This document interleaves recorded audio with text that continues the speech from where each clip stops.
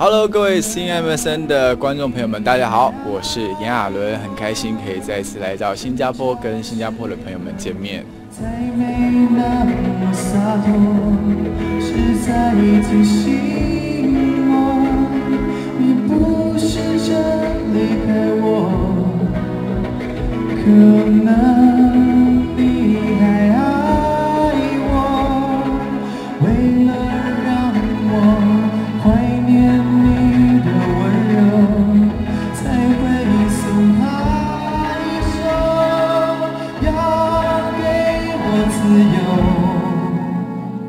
啊，我觉得一个人跟四个人，我觉得最主要就是舞台的差别啦。因为啊，自己当一个人自己站在舞台上面的时候，才感觉到舞台有多么的大，然后多么的需要呃做更多的功课来填满这个舞台，包括自己的对舞台的熟悉度，然后对自己歌曲跟作品的了解。呃，要怎么样在台上跟大家分享？怎么样在台上有散发呃一个艺人应该有的魅力？就是从四个人变成一个人的时候，呃，努力去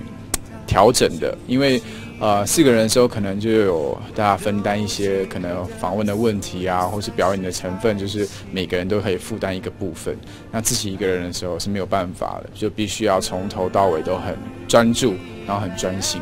这是最大的差别。呃，从上一个呃迷你专辑开始，我自己一直不断的去了解，然后不断的从错误当中学习，所以现在呢，其实真的比较自在。对于一个人的时候的表演，不会有太紧张或是太慌张的时候了。嗯，不一样，因为我觉得四个人的时候，每个人都多少要去为了表演的部分去多做一些呃努力跟调整，然后我觉得。应该说比较自在一点，因为呢，自己一个人的作品是可以更接近自己的想法，然后唱的歌曲也是自己很喜欢的，所以在表演的部分可以比较像是，呃，可以说比较呃自在一点点。那我觉得不会比较开心，因为毕竟四个人的时候，工作的气氛啊，或打闹啊，一起吃东西，都都有各自很可以带给大家欢乐的部分，所以我觉得，呃，应该只能说比较自在一点。对我来说，呃，在团体的那一段时间是我觉得很值得去，呃，纪念的。到了我七八十岁的时候，我都不会忘记那一段，有点像是奇幻旅程吧。对，嗯。快抱紧我，能抱紧我，那可能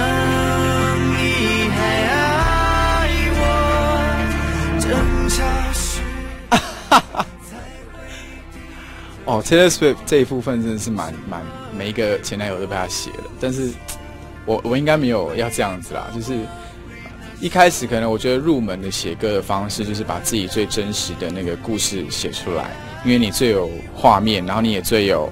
呃感受，所以你可以知道透过写歌词的方式把这些感受写出来。那我觉得再进阶一点，你可能是自己。编织一个故事，然后从这个故事当中去写一段歌词或者歌曲，我觉得将来，呃，应该会慢慢的朝这一部分去前进啊。那因为，呃，林夕老师他们也说，你不一定要真的经历过这样的故事，你才能够写出这样的故事，而是你可以去体会，你可以从这个道理当中去编造一些，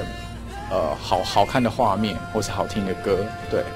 呃，其实就是目前还是会希望多唱呃抒情歌为主，因为自己被影响的最深的艺人，像呃张惠妹啊、庾澄庆啊、张学友、陈奕迅这些歌手，他都有很脍炙人口跟呃很流传度很高的情歌。那我也希望我自己在将来可以多一点这样的情歌，陪伴大家度过很多他们的纪念日这样子。呃，至于创作方面，我觉得就是一张专辑当中可能就会有一两首自己的色彩，因为我觉得呃艺人每个人都是很独特的，呃都会有他自己背后的故事。我觉得用自己的小小的创作，让大家去更了解这个艺人。